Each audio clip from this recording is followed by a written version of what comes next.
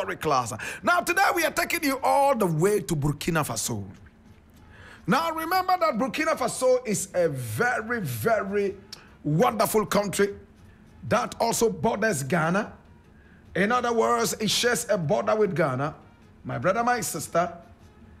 And in fact, the largest ethnic group in Burkina Faso is actually the Moshi. Moshi. Some people say Mosi. And they actually came from the backbone of the Dagombes. In fact, the founder of Ouagadougou and the Mosi clan actually was a Dagomba princess who met a hunter on her way into total liberation.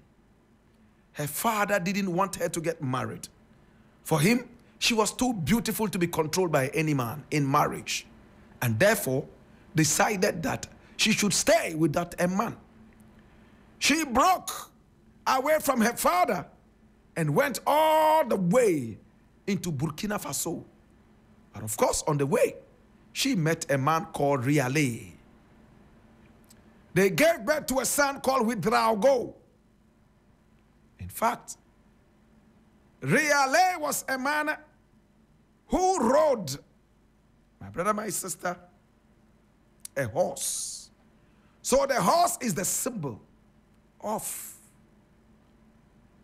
Burkina Faso, whose largest ethnic group came out of the Dagomba and is known as the Mosi.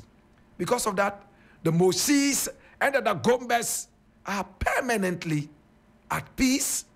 They signed a spiritual accord, never ever to fight, just like the Nzimes and the Ashantis. My brother, my sister, the Mosis and the Dagombes are the same people. Their language is similar. When you speak Mosi and I speak Dagbani, I will be able to pick some words and make a meaning out of the whole sentence. Today we are talking about one of the great kings of Musiland by name Wabgo. Repeat after me Wabgo. Wabgo. Wabgo. Wabgo. Wabgo simply means the elephant. The elephant. In fact, in the Dagbani, the elephant is called Wabgu. In Mooré, that's the Mosi language, they also call the elephant Wabugu. He was called Wabugu. In other words, the elephant. But he wasn't born Wabugu. He was born Bukari Kutu. And Bukari is spelled B O U K A R Y, and Kutu is K O U T O U. But with time, he decided to call himself Wabugu, aka the elephant. My brother, my sister, he probably was born somewhere in 1820. He died in 1904 five years before Kwame Nkrumah was born. My brother, my sister, can we go into the story of Wabugo?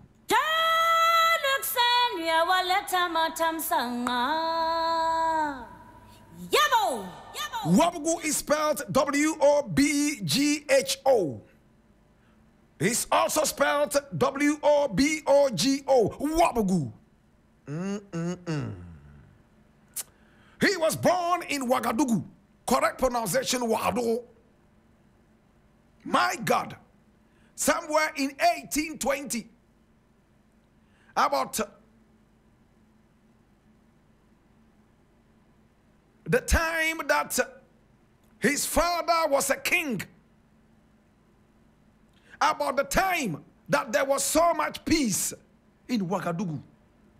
Oh my God. He was born into the Mosi kingdom of Burkina Faso. My brother, my sister. And his father was a king who was surrounded by formidable cavalry. Oh my God. Horses, shields, swords and spears. He was a formidable king, his father. And when he was born, in fact, the father was extremely happy. For a reason, he was chubby at birth. He was round and big. No wonder he grew up becoming a very huge person. And he took the name Wabugu, elephant. Mm-mm-mm. Watch this. He had other brothers who were elderly. And when his father was very old, though so fond of his father, he was his father's beloved child. And he loved his father too. His father wished that he became king because he was so strong and at the same time very, very, very, very warrior like. In other words, warlike. My brother, my sister. He moved all the way from Yatenga to the capital, Ouahigouya. My brother, my sister. Doing so many different things from hunting all the way down to, in fact, farming. In fact, even at the age of 16, he looked like a full blown man. And he loved women. Women. Ah. His biggest delicacy was women. And this is the great king we are talking about. Oh my God. You know what his name is? Wabu, the elephant. Watch this. Now, Wabugu loved women. In fact, he married 100 women. 100. Some of them he built villages for and put them in charge of a whole village. My brother, my sister. You see how round and big he was, decorated by the British. I will tell you more about this. Oh my God. Wabugu. Watch this. Now, Wabugu loved women. I told you he married 100 women. And he had children that he himself could not count. Some historians put it at 710 children. Hey, powerful man. He was truly an elephant. He was busy both in the bedroom and also on the field of war. Hallelujah. Wabugu. Now, his father had already told him that he wished that he would take over as king. But because of his age, he knew he would not get it. You know what happened? He knew he was strong. So he decided to war against his own brother. His brother was called Sanun, S A N U M, Sanun. In fact, the Dagomba version of Sanun is Sununu. Sununu. Repeat after me. Sununu. Wabugu. Mm. He was called Sanun. I said that the Gomba version of Sanun is Sununu. Watch this. He warred against Sanun, but he couldn't succeed. And for that matter, he exiled himself all the way from Ouagadougou and went into some hidden places. Hey, leaving his wives behind. Hey. But look at what he did. He went all the way to the city of Banema on the border of the kingdom, very close to the Gold Coast at the time. Look at what happened. He lived there and he was involved in slave trading. Like the very first photograph you saw. He was able to capture a lot of the Gurunsi people. Now in Burkina Faso, another ethnic group is the Gurunsi. He captured a lot of the Gurunsi people and sold them into slavery. Made a lot of money out of selling slaves. It was at that point the British heard about him. He wanted to become Mogho Naba, but he couldn't become one. But In 1890, Sahanun or Sununu died. And when he died, he had no male hair. And his brothers were all in competition to become Mogho Naba.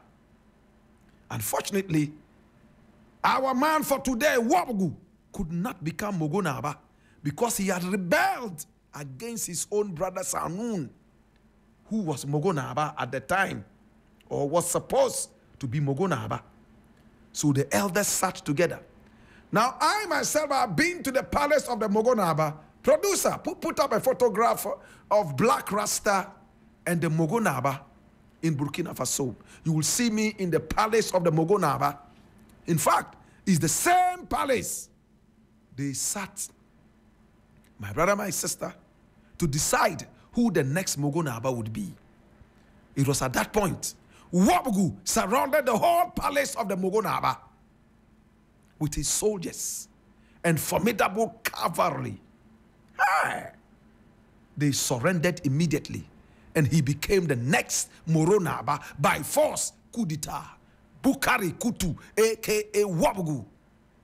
We are ending the story. Now, listen to this interesting thing. Now, in September 1890, after the death of Sahnoun, Dr. Francois Crozat, who was all the way from England, came to visit Wabugu.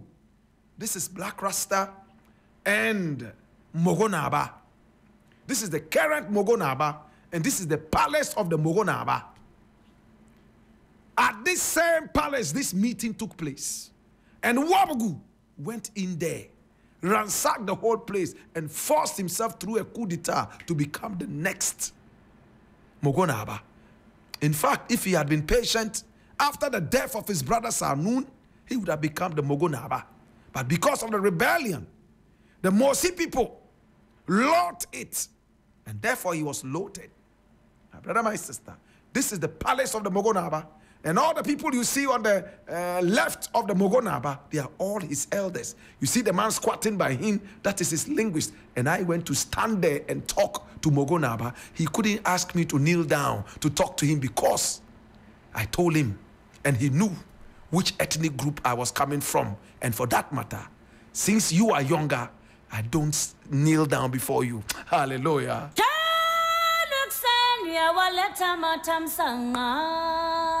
Hear this now. Yabo! Yabo!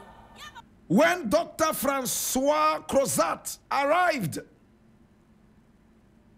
there was a war between the Mosi and some other ethnic groups like the Gurunsi and the rest. He tried as much as possible to stop this.